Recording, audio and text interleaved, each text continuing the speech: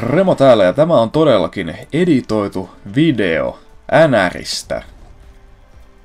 Wow. Aiheena on tässä selvittää, miten mun osalta kävi Stumbelkapin ensimmäisellä kierroksella, jossa mua vastaan oli arvottu Juha Kinno 72, mikä on mulle kyllä hyvinkin tuttu myös mun oman kanavan kommenteissa ja striimeissä. Ja herra oli vielä ilmaisut, että on aina halunnut pelata mua vastaan. Ja kun mut kerta nyt ihan kutsuvieraana oli vaan niin sanotusti päästetty mukaan tähän turneeseen, niin pitihän mun vähän panostaa, koska tää nyt pelattiin Versuksessa niin mä halusin vähän tarkemmin analysoida noita versusjoukkueita ja löytää sieltä jonkun ehkä niinku semmoisen yllätysjoukkueen, millä mä tulisin pelaamaan noi pelit. Mä tein analyysit kaikista 30 jengistä, pääosin ihan kokonaisuuksien, niiden aloittajien ja sitten vielä nopeuksien osalta. Ja se nopeus oli tässä se tärkein pykälä, koska mä vaan tykkään pelaa nopeilla äijillä. Ihan sama missä pelimuodossa sitä oikein pelaillaan. Ja mä laskin keskinopeuden lisäksi tämmöisen painotetun nopeuden, joka kuvastaa vähän enemmän sitä, että paljon ne kyseisen nopeuden omaavat jätkät saa peliaikaa ilman muokkaamatta ketjuja, koska tässä ei ole mukana vilttiketjun pelaaja näissä laskelmoinnissa, joten katsotaan lopputulokset ja yllättäen nopein versusjengi on Detroit, 88,3, mutta Detroithan ei muuten ole oikein hyvä. Mutta sitten nämä seuraavat, eli Pittsburgh, San Jose, Washington Rangers, niin alkaa kyllä olemaan kaikki aika hyviä ihan muutenkin. Jotenka tuosta sitä vaan valitsemaan sitten pikkuhiljaa, ja jos katsotaan tuolta ihan loppupäästä, niin oho, Vancouver 85,5. On tuossa niinku melkein kolme pykälää näissäkin lukemissa eroa, että kyllä sen kentällä huomaa, että jos otetaan matsi Vancouver Detroit, niin on se aika selvää, että kumpi niitä läpiajoja enemmän sais. Jotenka kaikki tietysti ottaa tuon Washingtonin ja kaikilla mittareilla se on nopeudessa tuolla melkein kärjessä. Ja tietysti sitten pelaajien laatu yleisesti on niin kova, että onhan Washington luonnollisesti paras versusjoukkue, ei siinä mitään. Ja totta kai kaikki ottaa sen. Yllättävääkin kyllä mun vastustajakin otti Washingtonin. Joten mä olin silleen, että nyt siis okei, okay, Washington on paras, se tiedetään. Mä nyt otan kuitenkin jonkun muun. Pittsburgh voitti jo Stanley Cupia ja muutenkin, niin varmaan moni ottaa myös Pittsburghin sieltä. Detroit olisi kyllä melkoinen yllätyskortti, mutta ei, mä otan kyllä mieluummin jonkun siitä väliltä. Eli mä otin San Joseen sitten. Vihdoinkin päästiin sitten pelaamaan lauantaina, eli tuossa eilen. Laitoin invit tulille ja sitten peliistunnossa, niin totta kai mä olin jo kaavaillut ne ketjut valmiiksi, että millä ketjuilla mä tulisin pelaamaan nämä matsit. Ja Mä olin ihan pihalla siitä, miten ketjuja muokataan alun perinkään, koska mä en tätä ollut aiemmin harrastanut, vaikka mä tiesin, että muut olivat tietystä syistä. Kätisyysi kuntoon, ja sitten aloittajat kuntoon. Mun ketjut, siis lopulliset ketjut, millä mä pelasin nämä pelit, niin näyttää tommoselta hyökkäjien ja sitten pakkien osalta ja totta kai Martin Jones sitten maalissa. Hypätään sitten tästä pelin tunnelmiin. Mä teen tämän koosteen vähän eri tavalla kuin aikaisemmin, eli aikaisemmin jos mä olin tehnyt jälkikommentaarikoosteen, niin mä olin editoinut ja leikannut sen koko kommentoitavan pätkän etukäteen. Nyt mulla ei oo sitä. Tää antaa mulle enemmän aikaa, mun ei tarvii alkaa niinku kiihdyttää mun puhetta liikaa tällä tavalla. Ja tässä oli semmonen pieni dilemma, että mä en tiennyt yhtään, että minkä tasoinen tämä mun vastustaja oikeasti oli ennen näitä pelejä. Mutta mun vastustaja kyllä tiesi, ja se tiesi mun pelityylinkin kyllä aika hyvin, jotenka sitä kautta niin mulla oli semmoinen vaikea tilanne. Jotenka mulla ei oikein ollut muita vaihtoehtoja kuin lähteä niinku pelaamaan aika täysillä, koska en minä yhtään tiedä mitä sieltä voisi tulla. Ja täytyy sanoa, että kyllä mä tykkäsin tosi paljon niinku tästä versus gameplaystä jostain syystä. En ole kyllä huttia tullut nyt vähän aikaa pelattua, mutta kuitenkin. Niin siinä oli vaan jotain tosi tosi puhdasta ja luonnollista näin todella kornisti sanottuna. Mulla oli tässä heti ekaalla minuutilla pitkää pyöritystä. Hyvin sain pidettyä kiekkoa halussa, enkä päästänyt oikein vastustajaa paikoille. 6,5 minuuttia pelattu, niin tulee kiekko menetys. Ja mä vaihoin bottiin, että se taklaisi ton sen pelaajan, mutta ei se auttanut, vaan TJ Oshie pääsi pujottelemaan aika nöyryttävillä veiveillä sieltä läpi ajoin ja heittää sitten siitä rystyveivit 705 ja ei hyvin ala mun kannalta. Vähän se kimpoilee sieltä Jonesin varusteistakin sisään. Se oli aika lähellä, ettei olisi mennyt, mutta menipä kuitenkin. Mulla oli taktiikka tuossa tilanteessa, mutta se taktiikka ei nyt tällä kertaa tuottanut tulosta. Joten nyt oli terästäydyttävä. Seuraavasta vaihdosta yllättäen taas on tosiaan Jannik Hansenilla sitten ensimmäinen kunnon paikka. Ja se menee oikeasti Jannik Hansen, mä tungen sen ykkösketjun vasempaan laitaan. Onhan se nopea jätkä ja muuta. Ja tämmöiset siirrot tuottaa nyt yllättävän nopeasti tulosta. Maali vain 38 sekuntia edellisestä, ja tässä peliajassa se on oikeasti aika vähän. Kun 11 minuuttia oli pelattu, mä hain ensimmäistä viiva vantaimeria tässä pelissä, mutta se onnistui vielä blokkaamaan tämän ensimmäisen yrityksen. Myöhemmin kuitenkin mulle avautuu paljon avonaisempi paikka. Martinin levitys laidan kautta Donskoille, jatkaa takas Martinille ja maali edessä on Patrick Marlowe, joka pistää sisään kauniin ohjauksen. Se oikein ponnahtaa se kiekko siitä ja sitten lentää myös juomapullot sieltä maalin päältä.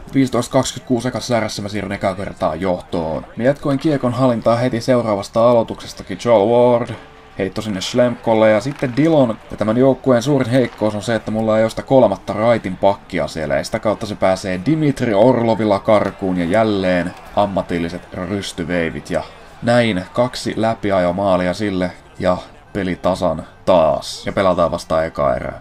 Ja totta kai mä mietin tämän jälkeen, että no niin, läpiajot pois jotenkin erän loppupuolilla on yleensä semmoinen mahdollisuus, että semmoiset jätkät, jotka on saanut aiemmin vähemmän peliaikaa, voi match-apata joitain semmoista vastaan, jotka on saanut sitä paljon ja on sitä kautta tosi väsyneitä.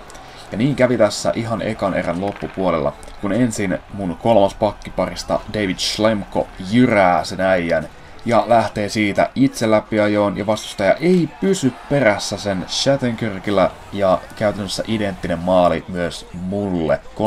3-2 johto ekan erän viimeisellä minuutilla. Täällä nyt tietenkään ei ole mitään väliä, koska tämä on videopeli, mutta Edellisessä maalissaan Slemko oli just se, jolta tuo Orlov pääsi karkuun. Kivat viisi maalia ekaan erään. Tosin kun katsotaan statsitiin, huomataan, että mulla oli selvä kiekollinen hallinta, olin positiivisesti yllättynyt tästä, että oho, mitäs kummaa, minähän jopa jotenkin pärjään täällä. Toisessa erässä neljä minuuttia pelattu, Pavelski epätoivoinen yritys siitä etukulmasta, ja Hansen aivan loistava paikka, ei mennyt. Hetki myöhemmin, kiekko Bötkerillä laitaan, näyttää hakeva laukaisupaikkaa, harhautus, rystyveivi, ohi maalin.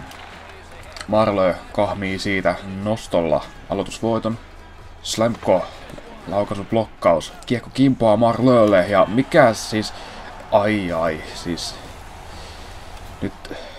Oho. Olen syntien syvässä alhossa.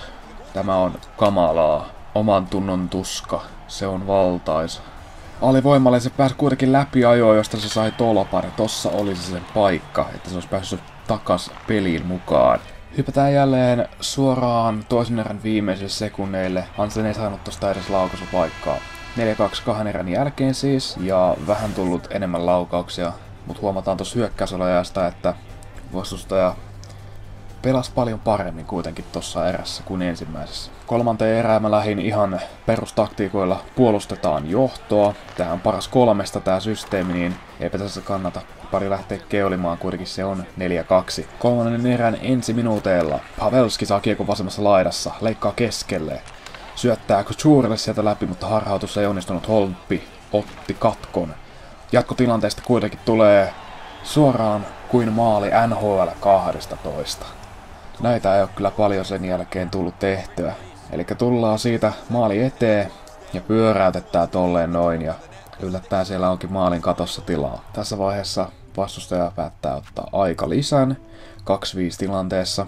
Mun laukusuprosentti 50 yhä, jotenka kyllä tässä vaiheessa niin alettiin ratkaisemaan jo peliä pikkuhiljaa. Ylivoiman paras paikka sattui sen puolivälissä, kun mä pitkän veivailun jälkeen sain kuitenkin Hansenille one paikan, mutta se ei pystynyt suoraan laukoo, niin siitä ei tullut silloin maalia. Kolmannen erän puolivälissä päätä vähän kuluttaa aikaa. Parker vastustajan maalin taakse, se ei tuu sieltä eteen.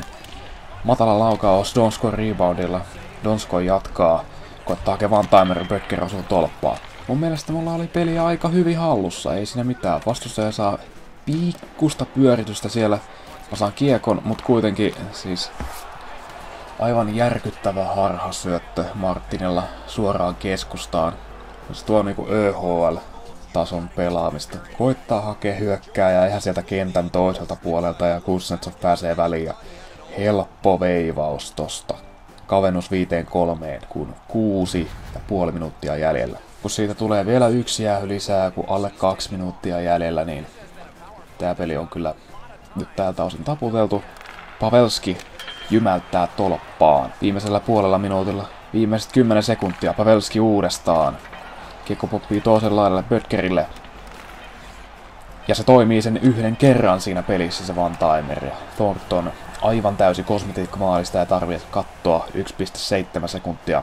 Ottelu päättyy 6-3 lukemiin. Hyökkäys oli aika 11-6. Laukaukset 17-10. Marlo ja Schlemko Couture. Siellä niin. Valmistautuessa toiseen peliin, niin muokkasin kentät tällä kertaa huomattavasti nopeammin, koska huomasin, että siellä on, siellä on se pikavaihto näppäin jälleen neljästä myöskin käytössä. Sitä saa käyttää, ei tarvitse aina X painaa joka kerta, että korvaa tässä ketjussa. Se on muuta hauskaa, joten päästiin paljon nopeammin peliin. Ja tämähän oli sitten vastustajan oma kotipeli.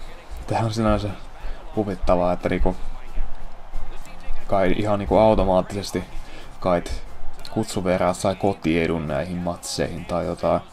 No, joka tapauksessa vastustaja pelasi näillä Capitalsin vaihtoehtopaidoilla molemmat pelit, niin vieras kuin kotipelin, ja mä otin sen ekan pelin vaihtoehtopaidoilla, mutta tämän toisen pelin ihan normi vieras paidoilla. Ja tähän toiseen peliin valmistautuminen oli paljon helpompaa, koska nyt mä vähän niinku tiesin, että mitä tulee, mitä tuleman pitää, mitä odottaa. Joten mä pystyin myös mukauttamaan mun pelaamista vähän sen mukaan. Ottelu lähti vähän tunnustelevissa merkeissä liikkeelle ja mun tuntuu, että mä jotenkin tein jostain syystä paljon enemmän virheitä tässä pelissä. Se varmaan johtui siitä, että mulla oli nyt tässä ottelusarjassa jo se 1-0 johtoasema, niin mulla oli vähän varaakin siihen. Vastustajalla sen sijaan ei tosin.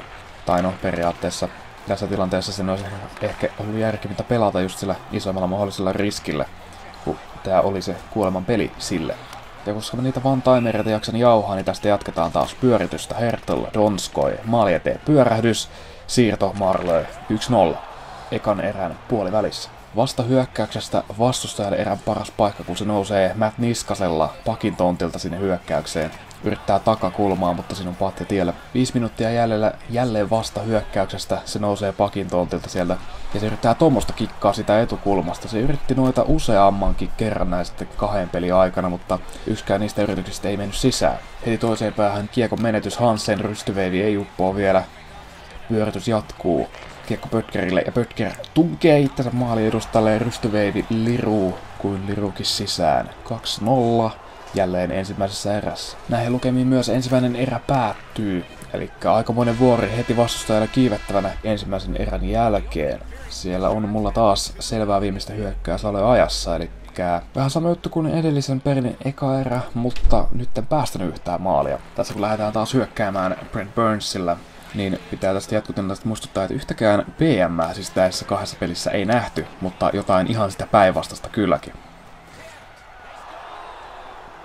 Lämäri, syöttö, maali. NHL 17, jossa sen tekemistä on huomattavasti vaikeutettu edellisvuosista. Tää on itse asiassa ensimmäinen tämmönen maali koko vuonna, kun minkä mä oon saanut kuvattua. Niinku kunnolla. Se on tullut pelissä minkä mä oon kuvannut. Näitä on tullut muutama muutenkin aina silloin tällöin. On kyllä nykyään melkoinen harvinaisuus. Joka tapauksessa 3-0 toisen erän alkupuoliskolla. Eikä paikat loppunut tähän. Kiekon riisto. 2-1 ylivoima hyökkäys Melkel Carson. Ja totta kai näistä paikoista, kun se pakki tuossa välissä on sijoittunut noin hyvin tuohon väliin, olisi tuosta voinut snaipata. Mutta mitä mä yleensä teen siitä, on että mä laulun patja alakulmaan ja kiekko kimpoo siitä Big Joel 4-0 rystyltä heittää sisään. Rebound-taktiikka toimii jälleen. Jatkotilanteesta jäähy, mutta pitää tässä sanoa, että ihan hyvällä variaatiolla tuli näitä maaleja tuolla, että oli siinä enemmän vantaimerta kuin muita, mutta muuten niin ihan kiva värisuora näissä maalintekotavoissa. Erän puolivälissä haetaan vähän lohtua vastustajalle, se saa sen erän parhaan paikkansa tässä näin.